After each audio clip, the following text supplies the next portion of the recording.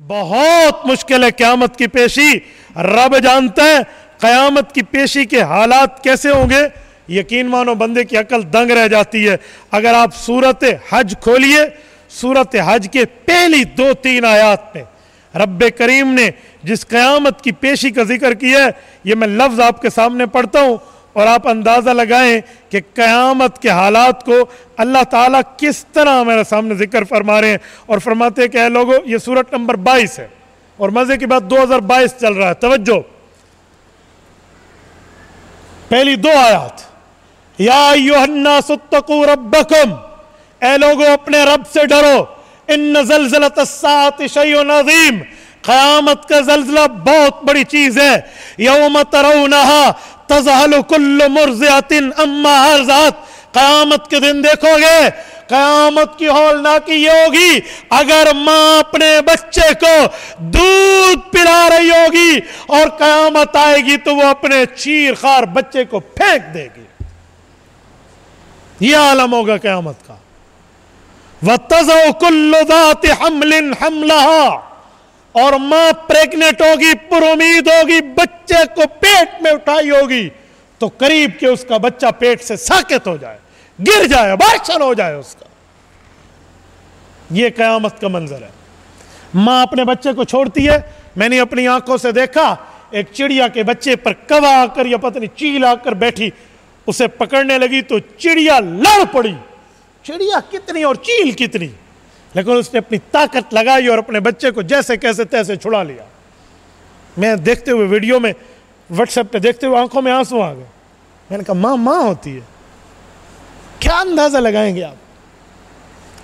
यहाँ माँ अपने बच्चे को फेंक देगी। यह कयामत है।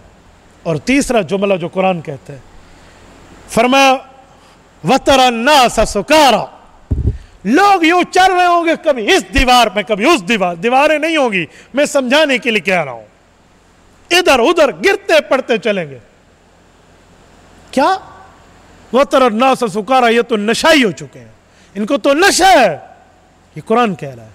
मैं डाइजेस्ट नहीं पढ़ रहा, अखबार नहीं पढ़ रहा। वह तरह ना से सुकारा, ये आलम आएगा कयामत का।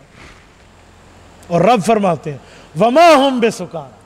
ये नशा नहीं होगा। वला किरन अजाब अल्लाह शदीद, ये रब का एक सख्त अजाब होगा। क़यामत की पेशी बड़ी है। क़यामत की पेशी बड़ी है। अल्फाज नहीं है, मैं उस पेशी की शिद्दत और हिद्दत को नकल कर पाऊँ। ये फीलिंग्स है, एहसास है। यहाँ पर अल्फाज नहीं चलते।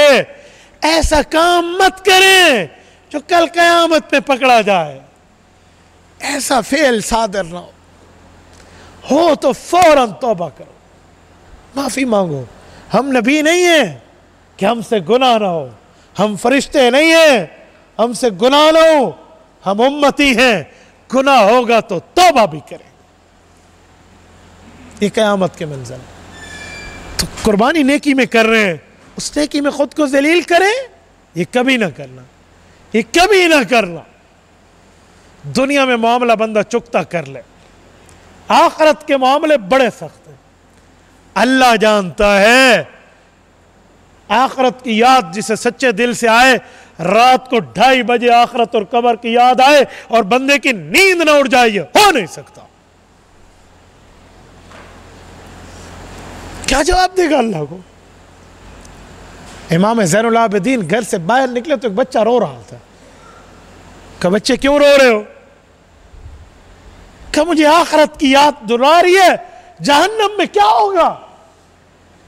तो कहा, बच्चे, छोटे बच्चे तो जहन्नम नहीं जाएँगे। तो ऐसे हंसा, कहा अच्छा आपने अच्छा किया, मुझे बताया, वरना मैंने तो अपनी अम्मा को देखा है कि जब आग जलाने लगती है तो पहले छोटे लकड़ियों को जलाती है, फिर चूल्हे में बड़ी लकड़ियाँ डालती है। तो मुझे डर हुआ कि कहीं अल्लाह रब्बुल इज़्ज़त हम छोटों को पहले जहन्नम में न डाल दें। आप बताएँ, जब ये आलम होगा तो आखरत की फ़िक्र होगी ना? जब ये नहीं होगा तो क्या आखरत की फ़िक्र है? क्या फ़िक्र है फिर?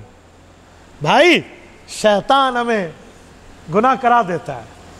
बाज़ात शर शैतान की वजह से हम कर लेते हैं। बाज़ात अपने नफ्स की वजह से कर लेते हैं। बाज़ात तकबर में कर लेते हैं, अल्लाह महफूज रखे। तो जैसे बंदे को पता चले, फ़ौरन अल्लाह से माफ़ी मांगे। फ़ौरन माफ़ी मांगे। माफ़ी में कभी लेट न करना